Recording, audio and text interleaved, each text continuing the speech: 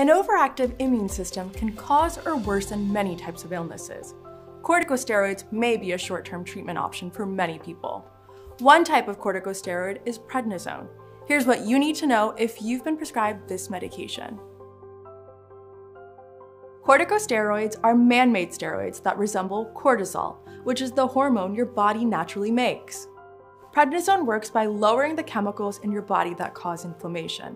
This reduces pain, swelling, redness, and itching as a result. Prednisone can help treat many conditions linked to inflammation.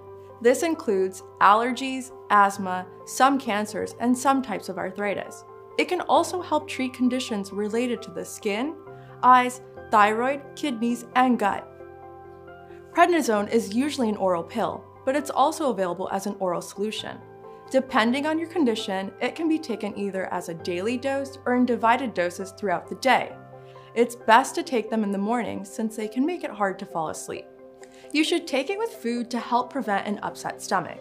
Your prescriber will give you more information and it's important to follow their directions carefully.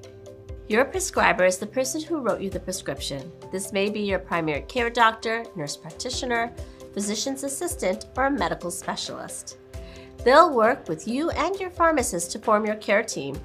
Your prescriber knows your health history, so they know how the medication will help meet your treatment goals and how it might affect other parts of your health. It's important to follow the instructions from your doctor and pharmacist, which can help you have better results while protecting your overall health. For example, this treatment may raise your blood sugar and blood pressure. If you already have diabetes or high blood pressure, you should regularly check your blood pressure or blood sugar. You should also know that you shouldn't get certain live vaccines, like for chickenpox or yellow fever while taking prednisone, because it weakens your immune system. Both your prescriber and your pharmacist can answer your questions about side effects, which may include swelling, high blood pressure, high blood sugar, weakness, stomach pain, mood changes, insomnia, headache, acne, and weight gain. Don't be afraid to ask your pharmacist or provider about affordability. These days, there are many options for low cost ways to get your medication.